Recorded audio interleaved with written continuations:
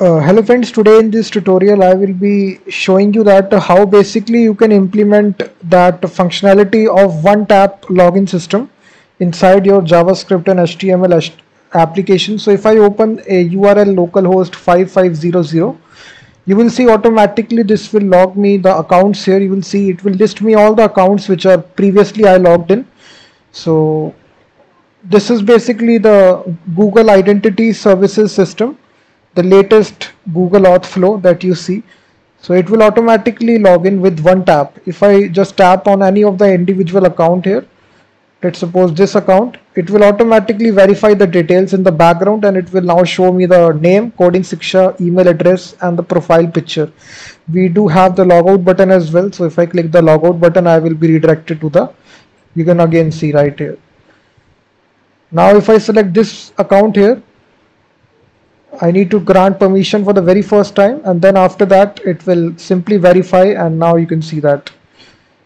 Once again it will automatically detect. Guys you will see as I uh, close this once again if I try to open this URL it will automatically detect that you have previously logged in with these details. It will show you in the sidebar and uh, now you can simply verify this and now this will show you the information right here so this is the Google Identity Services one tap login system guys that we will be OAuth login. We will try to implement it inside JavaScript. I have given all the source code in the description of the video. You can check out all the source code and follow along with this video. So now let's get started. So the very first thing guys we need to do is that we need to create a brand new index.html file. This is the only file that we will need here and inside the body guys we will basically have a on load so we will execute this init function guys right here. And we also need to include a cdn guys just right here uh, after the title. Just include this cdn. Source will be https accounts dot google.com slash gsi slash client. And we just need to load the script asynchronously and defer. That's all. So just uh, include this CDN tag right here guys. After this what we need to do we need to define this initialization function that we have done right here. So right here will put the script tag and we will define this function function init. So inside this function guys we will basically have google accounts dot id dot initialize. And this function takes an uh, basically parameter guys. First is the client id so here you need to paste your client id and then we have the option of auto selecting the accounts. Auto select this is a boolean parameter true and the callback function. So callback function we need to have you can define this anything. Let me just say handle credentials response. So now we need to define this function guys right here at the top. So this callback function will automatically fire. So right here we will say handle credential response. It will have the response right here and we can simply console log it. So automatically whenever you select your account automatically all that information will be returned inside that callback function. So right here you need to paste your client id guys. So this client id you can get it from google cloud console. So you just need to go to google cloud console and here you need to create a project and uh, get your client id this is very easy simply create a project and right inside this uh, right here. You need to paste your uh, ID so whatever ID that you are doing so I, I am having localhost 5500 so simply copy this and simply paste it here. Localhost 5500 and also localhost in the authorized JavaScript origin. And also authorized redirect URI will be localhost 5500 simply save and this will be your client ID and simply copy this client ID paste it here. So now guys if you try to open your application if I try to open now nothing will happen.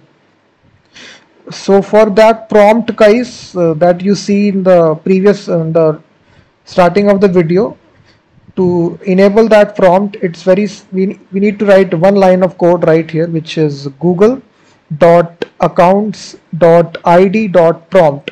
This is the only line of code that we need to write guys. So after doing this you will see automatically this will recognize me that uh, you have previously logged in with these accounts.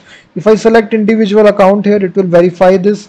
And now if I check it the console you will get an object here and this object contains these credential which is a JWT token JSON web token. So JSON web token guys uh, we need to decode this token to get our profile information. So J, uh, J JWT token it's a very uh, standard all the authorization application use. Basically your profile information is contained inside the JSON web token. Now we have this uh, function. Inside that function we will basically have a if condition we will have if response dot credential which is your JWT token. If it exists in that case we will need to decode that token. So now for decoding that token guys we will say JWT and we will simply say response. We will say that JSON first of all we will store this token inside the response dot credential JWT and now we will extract the user information. So we will use JSON dot parse and inside this JSON dot parse guys we will use atob.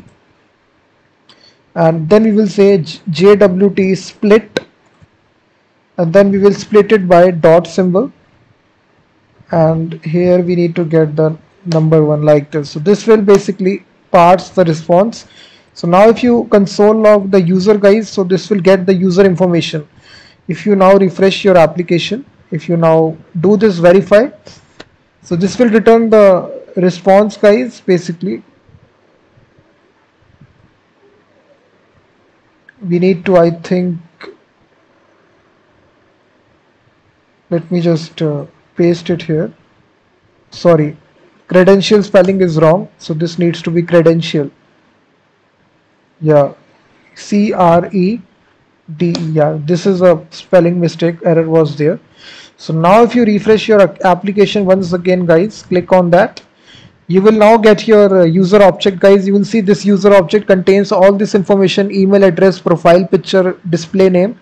Now we can display this information. So now inside the body guys we will simply have some tag here which is simple paragraph. We will give it an id of profile. This is an empty here so now to display this information we can simply say here document dot get element by id profile inner html and we can simply write in backtick symbol. And right here we will say your name is this uh, user dot name. And then we can say that your email is user dot email and then we can again have a break tag. And then lastly we can display the profile picture which is image source. We can say user dot and this contains a property picture. So that's all guys. And if you now refresh your application and basically if you select an account you will see your profile information name email address and this is a profile picture if you want to select it for a different account you will see that. You can see that. So now guys we just need to display the logout button as well. So we can basically have a logout button. We can give it an ID of logout button and we can say logout. So we can basically whenever you this will not be displayed so display property will be none so now whenever it is log we can change the display property. We can say logout button. And then we can dynamically enable that button. So we can say style dot display to block. So now this logout button will be shown to the user. If you click it so now your logout button will also be shown here guys. So now if I click this logout button guys we need to basically write a function so whenever we click this button so we can initialize the on click here. So we say handle logout. So this function we will need to make guys. So now we can make make this function handle logout. So inside this function guys what we need to do we will say google.accounts.id.disable auto select and then we will say google.accounts.id.prompt then we will simply uh, just clear out the profile like this empty. And also we will hide the logout button. So we will say style dot display to none. That's all.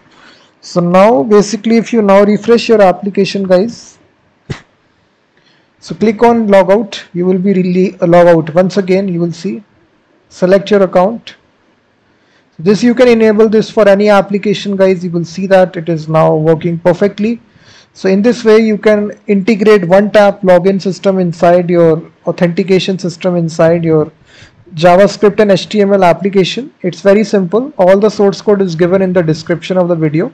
Thank you very much for watching this video and I will be seeing you in the next video.